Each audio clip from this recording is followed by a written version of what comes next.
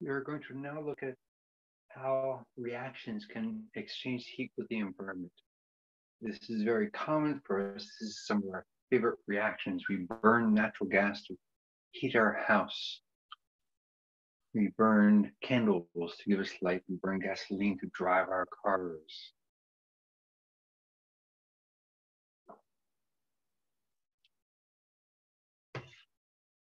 There are two types of reactions, reactions that uh, will give off heat and reactions that absorb heat. Reactions that give off heat. Reactants contain more energy than products. So as we convert to reactions from, from reactions to products, we have to give off heat. Uh, so the products have less energy, the reactants have more. Uh, this will make the system hot. So our candle gets hot, candle flame gets hot. Then after it gets hot, then it can release the heat to the surroundings. This is called an exothermic reaction. And the delta H is the difference between the energy content before and after. Delta we do as final minus initial. So in this case, it's products minus reactants. Now end up giving us a negative value. So negative delta H is going to be an exothermic reaction. When it makes a system hot, then it's an exothermic reaction an endothermic reaction, the products hold more energy than the reactants. It does this by stealing energy from the translational motion of molecules. So the system gets colder. And then once it's colder, it can absorb heat from the surroundings. So it gets cold first and then it can absorb heat from the surroundings. So that's an endothermic reaction. Products minus reactants will give us a positive delta H, positive enthalpy. So delta H is our version of heat from reaction.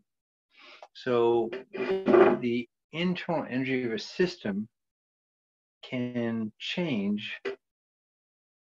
Internal energy we represent as a delta E, change to either exchange of heat or work. So heat is the exchange of vibrations and speed of molecules between the system and the surroundings. So think of your window of the house. It's warm on the inside, cool on the outside. The warm air on the inside hits the glass, gives some heat to the glass, and it bounces off slower, bounces off colder. The outside air hits the glass, bounces off faster, takes heat from the glass. But there's no exchange of matter in that process. So that's heat. And this delta H over here is a specific form of heat is the heat that's exchanged between system and surroundings um, at constant pressure. And since we live in a constant pressure bath of the atmosphere, every time we measure heat, it's generally going to be our delta H version under constant pressure. So work is different. Work involves a net movement of matter. So we're pushing against something. It's a gas pushing against something. So our steam engine, we boil water and the steam push against the pistons to drive the engine, drive the, the trains, or push against the turbine to create electricity. We break our system out from everything. So a system is what we're working on. It could be a beaker, it could be a candle, it could be a flow through reactor. Uh, and then the surroundings are everything else.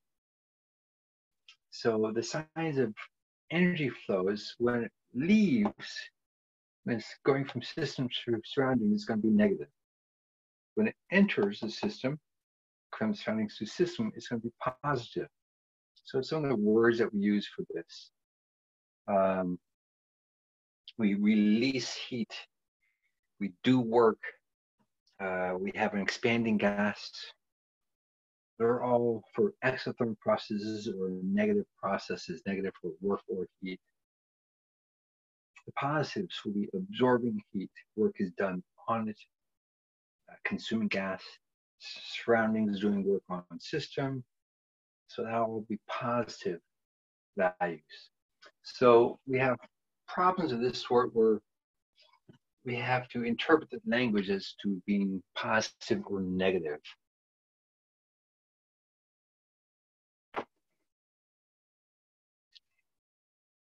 So this is an example of it. So gas releases 45 kilojoules of heat. So releasing, releasing is going to be a negative for us. 25 kilojoules of work done on it, done on it is going to be a positive. So we put in our negative 45 for our Q, a positive 29 for our W. We add them together and we end up with negative 16 change of internal energy uh, for that gas.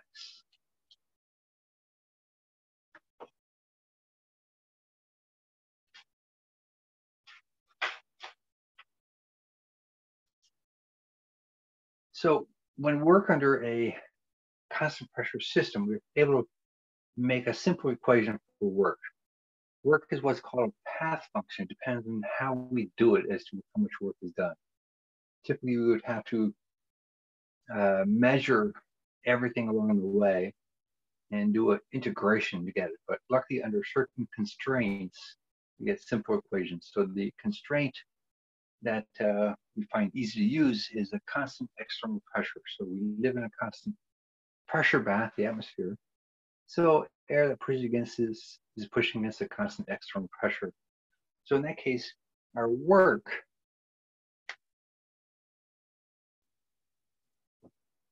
is a negative P delta V. And that's the external pressure that we're pushing in. So that's going to be a constant.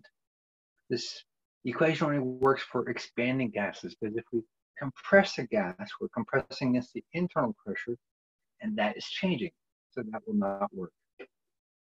Uh, for this equation, it's easy to use atmospheres and liters. So we got our work in units of liter atmospheres. And often we like to see joules. So our conversion between them is one liter atmosphere is 101.3 joules. And before we do a calculation on that, let's do a, some qualitative stuff. So if we look at a reaction, is it doing work on the surroundings or the surroundings doing work on the reaction? Well, this is based on how many moles of gas that we have. So we're increasing moles of gas. We have more moles of product gas than we do of reactant gas.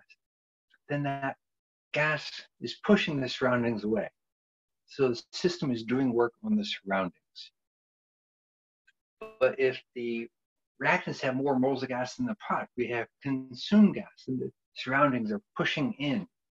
So the surroundings are doing work on the system.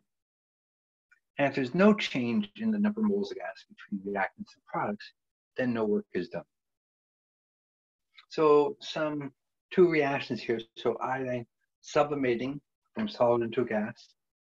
By doing that, its former gas is going to push the surrounding air away. So the system is doing work on the surroundings. Here we're dissolving gas into water, to carbonic acid. So we're decreasing the amount of gas. So the surroundings are pushing on that gas. So the, the surroundings are doing work on the system. Then let's do a calculation on this expanding gas work. So if we're expanding gas from 2.5 to 4.2 liters against a constant pressure of 7.2 atmospheres, um, our work is negative P delta V. So we put in our 7.2 atmospheres. Delta V is final minus initial. So 4.2 minus 2.5 liters, it gives us 1.7 liters times the 7.2 atmospheres gives us a negative uh, 12.2 liter atmospheres. If we don't specify units, that is a valid answer. If we ask for joules, then we take that multiplied by the ratio of 101.3 joules over one liter atmosphere. And our other valid answer is negative 1240 joules.